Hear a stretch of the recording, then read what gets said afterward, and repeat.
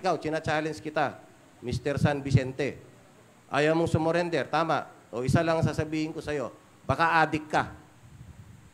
Okay? O, ba't ayaw mo sumurrender?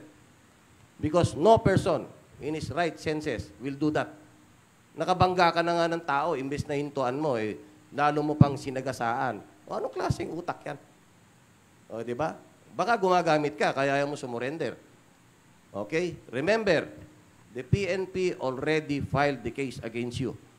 And you take note, pag lumabas ang warrant mo, hintayin mong lumabas yung warrant mo.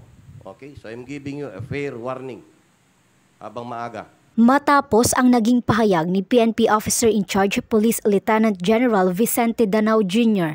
ay tuluyan ng sumuko at humarap sa Philippine National Police o PNP ang driver ng SUV na bumangga sa isang security guard sa Mandaluyong City na si Jose Antonio San Vicente. Kasama ang kanyang abogado at mga magulang ay humarap ito sa isang pulong balitaan na ipinatawag ng PNP kung saan humingi ng paumanhina si San Vicente sa security guard na si Christian Joseph Floralde, gayon din sa kanyang pamilya. Wala naman akong masasabi na hindi naman masasabi ng uh, abogado ko kung hindi um, uh, may apologies sa nangyari.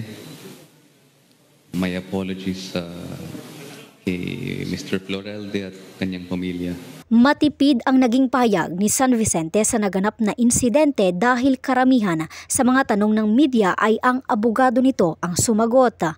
Ayon sa kanyang abogado, nagpanik umano si San Vicente matapos ang nangyari kung kaya hindi nito naihinto ang sasakyan noong nasagasaan na nito ang security guard at umalis sa pinangyarihan ng insidente. Dagdag pa ng kanyang abogado na bukas, ikalabing pito ng Hunyo ay sasagutin nito ang lahat ng katanungan sa gaganaping hearing. Siya, very apprehensive, apprehensive siya. Natatakot siya. Nagpanik. Nagpanik in other words.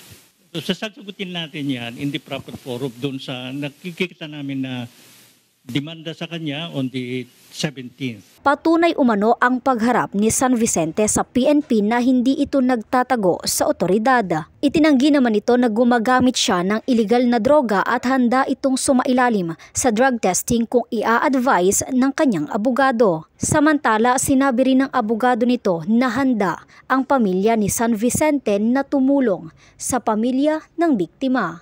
Ito si Kyra Gaspe para sa North Central Luzon, News Media.